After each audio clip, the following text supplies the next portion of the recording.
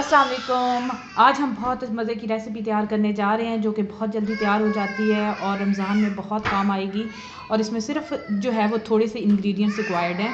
इसके लिए हमने श्रेडेड चिकन ले लिया है, थोड़े थ्री मीडियम हमने पोटैटोज़ ले लिए हैं, आलू और चिकन अबाउट है three two four hundred grams chicken shredded और आलू हमने एक बाउल में डाल लिए हैं और उसके अंदर जो है वो फिर हम ऐड कर रहे हैं सॉल्ट डाल रहे हैं, नमक, साथ कुटी हुई लाल मिर्च, पिसी हुई लाल मिर्च और ज़ीरा।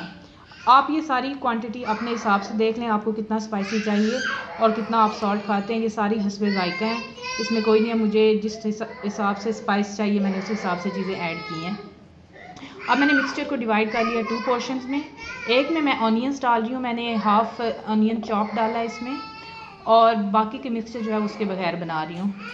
मैंने यहाँ पे मैदा लिया है और मैदे का ये है कि इसमें मैंने चिकन पाउडर ऐड किया है, साथ मैंने सॉल्ट ऐड कर दिया है और मैंने कुटी हुई लाल मिर्च और पिसी हुई लाल मिर्च ऐड कर दी है। यहाँ पे भी आप पे है, आप अगर स्पाइसी नहीं खाते तो आप ना ऐड करें। इस सबको मैंने मिक्स किया है और साथ मैंने ज़ीरा पाउडर ऐड कर लिया है। पाउडर नहीं है, कुटा हुआ है बेसिकली तो यहाँ पे कंसिस्टेंसी ये होती है कि अगर आपने एक कप मैदा लिया है तो आप उसमें सवा कप पानी डाल दें, क्योंकि इसको ना ज़्यादा थिक होना चाहिए, ना ज़्यादा रनी होना चाहिए नॉर्मल होना चाहिए बैटर के, जिसमें एक वो तार बन जाए लेयर बने।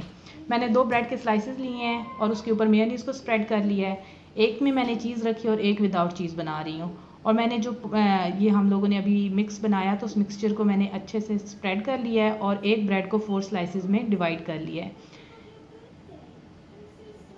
अब मैं वन बाय वन ये स्लाइस लूँगी और उसको बैटर में डिप करूँगी और साथ ब्रेड क्रम्स ऐड करूँगी। ब्रेड क्रम्स भी मैंने बाज़ार के नहीं लिए हैं, घर में ब्रेड को मैंने टोस्ट किया है और ग्राइंड कर लिया है। ये आप इस तरह बनाकर रख सकते हैं एक साइड पर और फ्रीज़ कर लें और जब भी कोई मेहमान आए या जब भी अफ्तार हो, आप उसमें फ्राई कर लें। मैंने कुछ जो है वो फ्राई कर लिए और बाकी मैंने सारे फ्रीज़ कर लिए। आपने जब फ्राई करना है तो मेक श्योर sure करना है कि ऑयल जो हो, वो गर्म हो, क्योंकि ये सारा जो मिक्सचर है, ये ऑलरेडी कुकड है।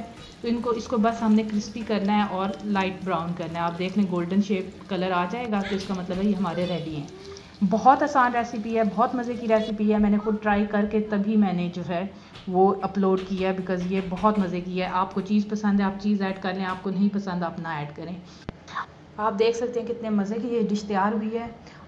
मैं उम्मीद करती हूँ आपका रमज़ान बहुत अच्छा गुजरेगा। Thank you for watching Allah हाफिज़।